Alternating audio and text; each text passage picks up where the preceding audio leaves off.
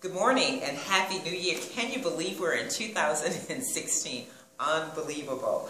And so someone sent me a little message saying, I hope uh, your 16 is sweet or something. it's so bad when you try to say something that somebody else has said and you don't quite get it. But here's what the Word of God says as we're moving a little quickly this morning because I have an appointment at 2 o'clock. Psalm, and let me just say this because it's the worst thing, especially when someone's standing in the pulpit and they go, turn to Psalms 1, blah, blah, blah, blah, blah. Unlike any of the other books, what are the Psalms? The Psalms are poetic expressions of the depths of our hearts. When you want to express that grief that is just wrenching out at your soul, or you want to express the joy of the ecstasy that God has just taken you through. All of that is found in the book of Psalms. And so what it is, is it, again, it's these poetic expressions, poetry, uh, songs, and, and it was it was a part of the lifestyle. Let me, let me get this piece out of the way first. So you have the book of Psalms, but when you are speaking about a particular psalm, it is Psalm singular, okay? It is not Psalms 1 because it is one poetic expression. Okay, so it's the book of Psalms, but when you turn to an individual chapter, it is Psalm without the S. Mm -hmm. Love to teach. So Psalm 1, which we're all very familiar with, says, Blessed is the man who walks not in the counsel of the ungodly, nor stands in the path of sinners, nor sits in the seat of the scornful, but his delight is in the law of the Lord, and his law he meditates day and night. He shall be like a tree planted by the rivers of water that brings forth its fruit in its season, whose leaf also shall not wither, and whatever he does shall prosper. That is so rich when you just be still and just contemplate each little section here. It just, it, it's a guarantee for blessedness. And what is blessedness that we remember from the Beatitudes? What does it mean when it says, blessed is the man who is poor in spirit? It means, oh, how happy is the man. Oh, how happy is the man who walks not in the counsel. I'm getting ahead of myself. He shall be planted, like he shall be like a tree, like a tree planted by the rivers of the water that brings forth its fruit in its season, whose leaf also should not wither, and whatever he does shall prosper. I just read that. I wanted to read Eugene Peterson's contemporary. I mean, he really brings it home for us. He says, how well God must like you. You don't hang out in sin saloon, in sin saloon. You don't slink along dead end row. You don't go to smart mouth college. Woo! Instead, you thrill to God's word. You chew on scripture day and night. You're a tree replanted in Eden, bearing fresh fruit every month, never dropping a leaf, always in blossom. These two are just, you know, I, for most of you that know me know that I love to, to, to, to preach from the Gospels, especially the Gospel of Matthew, where we have more of Jesus' teachings. I don't come from the Psalms that much, but outside of everybody knowing that John 3.16 is probably the most memorized scripture in God's holy word, it is the book of Psalms which are the most popular. You know, 23rd Psalm, 100th Psalm, 39th, I mean, there it goes on and on. I'm sure that you have a favorite. Because when our heart is just, you know, my girlfriend lost her mom yesterday and just, you know, when we're so sad, you know, you go to the book of Psalms. When you're just excited and you want to do your little praise dance for God and you want to put your little video thing together, you probably pull a psalm. Here at the Washington home, we repeat the 100th psalm almost every Sunday. That's one of our favorites. No matter what I'm preaching on, we can pull a scripture or two from the 100th psalm and relate it to what we're going to be talking about. And we just talk about how amazing that psalm is you have to understand the character of the Psalms in order to understand or bring it all into context. And without going way into that, uh, we did that this morning. But just want to kind of reiterate just one or two things. The fact that as we look at our email today or, you know, we have our iPhones with those things that are so much a part of everyday life, so were the Psalms. They were for private devotion, but more importantly, for bringing in public worship. But it was a part of the everyday life of the people then to write a song, to, to, to, to, to, to, to bring it into their private and public worship to God. And they were lyrics to be played out in the synagogue with music and, and worship, that all that stuff that comes together on Sunday morning. You know, first Sunday at, at Mount Jezreel was a great time, you know, everybody just, you know, full of the praise and worship. And that's what the Psalms were about. And so anything that you're looking for, you'll find it there. The other thing that Psalms were uh, considered to be um, parallelisms. Uh, in this one we have two or three, I remember, uh, synonymous parallelism, and that's pretty much from the root word synonym, synonym, being a similar element, you know, for those who meditate on the law and delight in the law, those two similar elements. And then you have um, uh, a progressional where you have a figurative thing like, he shall be like a tree, and then you just kind of expound upon that as you go along. What I want to talk about is as people have walked into 2016, we talked a little about it last week, they've made New Year's resolutions. The gentleman that's doing the video now, his New Year's resolution is to work out more. The gentleman that helped bring the residents down this morning, his New Year's resolution is to work out more. Uh, WGTS did a survey and they were saying that even in spite of everybody that wants to work out more this year, overwhelming, the main thing that people desire to do is to live life to the fullest. And so I thought that whatever your resolution is, for it to materialize, come to fruition, you have to have a plan. And so our thing today was a plan to be blessed. And how wonderful is it that even as we try to figure things out, and a lot of times we don't get it right, is that we don't have to figure this out. It says, blessed is the man. So, oh, how happy the man will be. And then it's giving us the plan in order to fulfill that. And anybody that has a New Year's resolution, no matter what it is, at the, at the end of the day, we all want to be happy, filled with happiness. And so to not do this is to be a fool. It's as simple as that. Because not only will you not be happy, you will have a life that leads to death. And that is what this psalm is saying. Just the first three verses. Blessed is the man who walks not in the counsel of the ungodly. So it's saying that we are not to be into all of the stuff that's going on. You know, as as the new year rolls in, people, what is Oprah's got the uh, Weight Watchers, and Dr. Phil has this going on, and you know, unless you know people to be godly, and I'm not saying that they're not, but we do know people that are, and we don't seek advice from those people. Most times we go to magazines when you're at the checkout counter in the, the supermarkets. Every magazine has something on the cover that alludes to the best five this or the top 10 ways to do this or that. That's a lot of advice from the world. And things that are very popular, the top list, the ins and the out. I don't get the Washington Post anymore, but it used to be in with this and out with that. All of these things are advice as to what you ought to be doing now and what you had to leave in 2015. And the fact of the matter is, is that where are you getting your information from? Where are you getting your advice from? And it says, the man that will be happy will get his advice from the godly. It's as simple as that.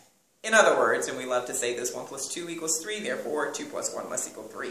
Therefore, if you get your advice from people that are ungodly, you will not be happy.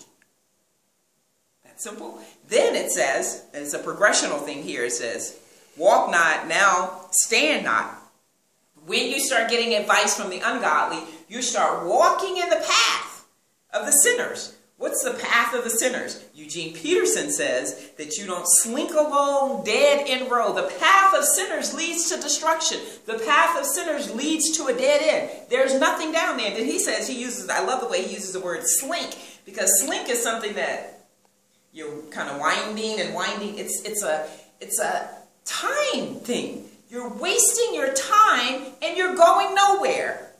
Eventually, you get to the dead end, you're going to have to make a U-turn. You're going to have to go back to God if you want to get somewhere. If you want to go nowhere, then go ahead and go that way because that's where you're going to end up. Nowhere, a dead end. Amen?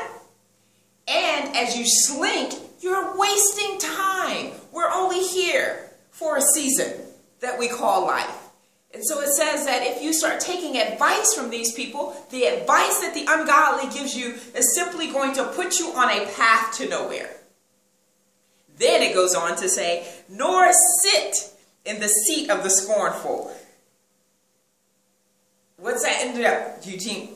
I want to understand that. Do not go to smart mouth college when you start getting to the dead end, what comes to the dead end? Frustration. What comes at frustration? You start snapping at people. You wonder why people are so mean all the time. It has nothing to do, and they'll try and make it seem like it has something to do with you. It's something on the inside. It's the frustration that we have with life. Why are people unable to forgive? Because they're not happy with their life. People can do whatever they want to do with you. If you're filled with love and filled with joy and just high off of life itself, it doesn't matter. It's easy to forgive those people. A lot of that has less to do do with what the person did to you and more to do with what's happening between your two ears, what's in your heart. And so this is saying, as you take advice from those people, this is where it's going to lead. And then all these other characteristic things are going to happen that are not characteristic of the man or woman that is going to be happy because he is obedient to God's word. And what does God's word tell us to do? And his delight, but his delight is in the law. So here's that similar element. But his delight is in the law, and his law he meditates in day and night. There's another passage where uh, Moses, is, uh, God is telling jo Joshua that if you chew, basically the same thing, meditate on my word day and night, you will have control of everything that happens in your life. That's why I said earlier, this is a rich passage because it's, it's, it's simple. Life is simple when we just follow God's instruction.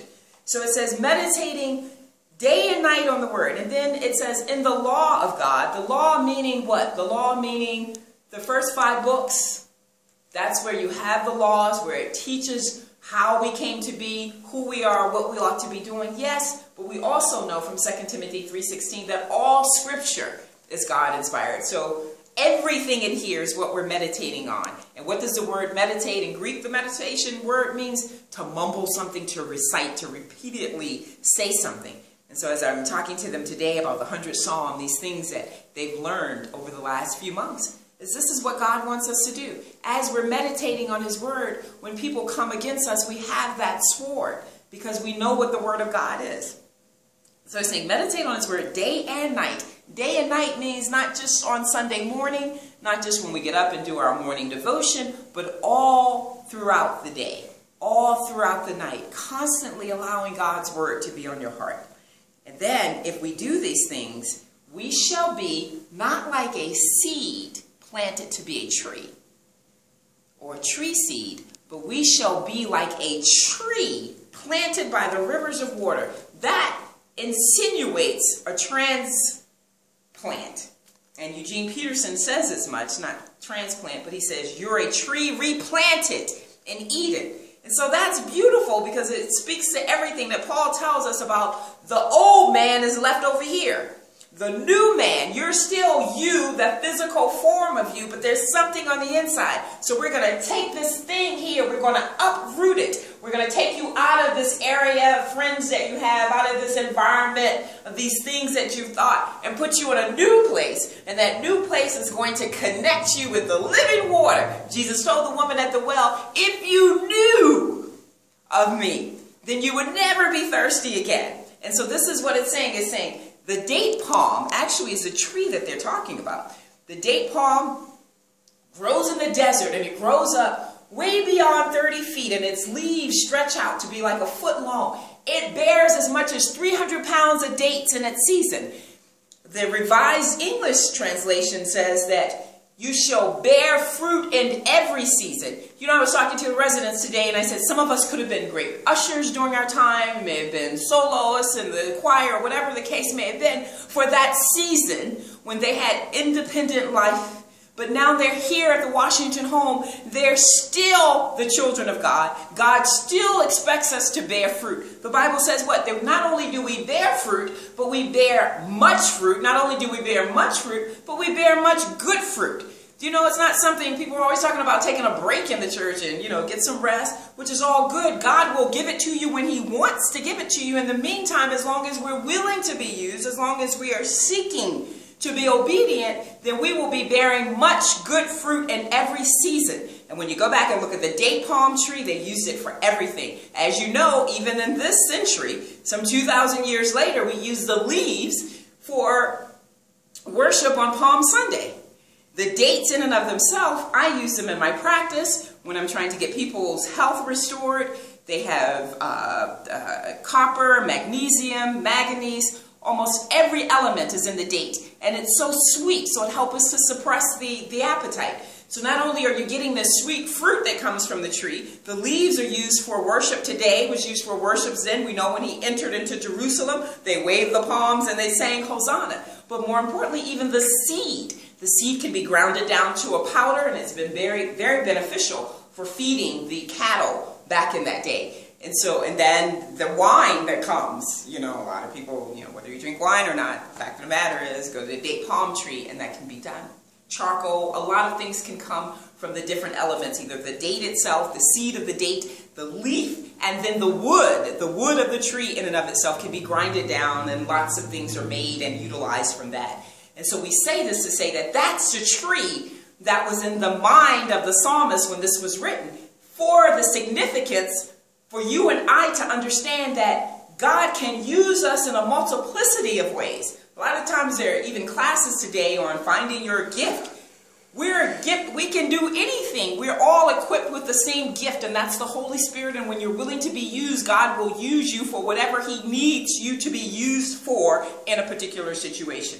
And so this planting of the tree near the rivers of the water, when we're always connected to the living water, which is God, we will be bearing fruit and much good fruit in every season, and we will be constantly used over and over and over again. And it says that our leaf will never wither, and everything that we do shall prosper. When we are seeking the counsel of God, when we are walking in the ways of God, when we're sitting and not mocking God, but being amongst the other saints, then everything we do shall prosper. What else could we look for in 2016? What else could we need? We want to be happy, but we want to be used mightily by God. And when we are allowing God to use us, we will be everything. Everything. I mean, I just, I, I've always loved this scripture, but it's amazing that every time you come back to God's word, I think I've even preached about it maybe once over the last 10 years or so. But the new revelation with everything else that's going on in my life, what happened in 2015, what I'm looking uh, forward to in 2016. It just says, here it is. Keep doing what you've been doing. It says in one of these scriptures or one of the translations, and Eugene Peterson, it says, instead, thrill to God's word. You know, people are excited about the Redskins playing Dallas today. And people are excited about, you know, the new year and what it's bringing, the weather, all this kind of stuff whatever. Some people are excited about eating. We love to eat. You know, when, when there's a game, there's, you know, buffalo wings going on. And so it's saying that when you thrill the Word of God, when you look forward to reading God's Word, when you're excited about it, when it becomes a part of you, then you, you just, you hold on to it. And when you're holding on to that, everything will be well. And there you will have your happiness. And that's a word for 2016.